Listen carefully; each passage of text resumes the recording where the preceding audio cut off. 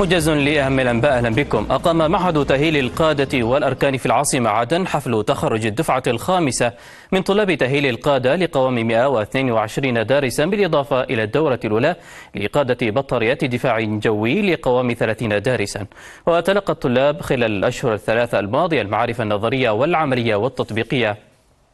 كما تم تدريبهم على مستوى تأهيل قادة سرايا وهو ما يساهم في تعزيز قدراتهم وإعدادهم للعمل في الميدان ويرفض القوات المسلحة الجنوبية بدماء جديدة من الضباط والقادة الميدانيين المؤهلين إلى أعلى المستوى المستويات وفق مناهج حديثة ومعاصرة لكافة التخصصات.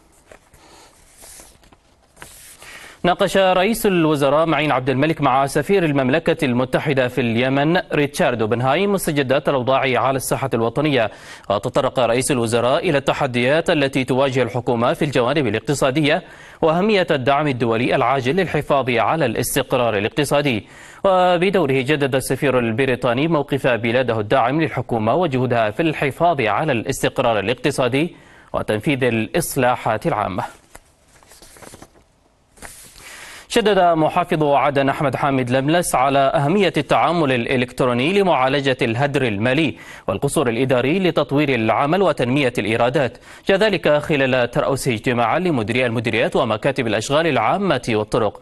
حيث وكد لملس أن الأتمة الإلكترونية تساعد السلطة المحلية على كشف القصور ومعالجة الاختلالات الناتجة عن العمل اليدوي التقليدي في مختلف الدراسات. أعلنت ميليشيات الحوثي وصول قيادات إخوانية بينها اللواء عبد الحميد النهاري مدير مكتب نائب رئيس الجمهورية السابق الفريق علي محسن الأحمر إلى صنعاء والتحاقها بالمشروع الحوثي. وظهرت تلك القيادات العسكرية في صورة رفقة القيادي في ميليشيات الحوثي المدعو محمد البخيتي ومعه عدد آخر من قيادات الميليشيات. هذا وقالت تقارير صحفية أن هذه الخيانات تثبت العلاقة المشبوهة والتماهي بين عناصر الإخوان في اليمن وميليشيات الحوثي. طلب أهالي قرية دار الحرب شرق حيس بمحافظة الحديدة البعثة الأممية أنمها بإدانة القصف الصاروخي المتكرر على قريتهم من قبل ميليشيات الحوثي وآخرها استهداف مباشر لمنزل مواطن قبل أيام. وأكد الأهالي أن قريتهم مأوى لعدد من الأسر النازحة وأنها بعيدة كليا.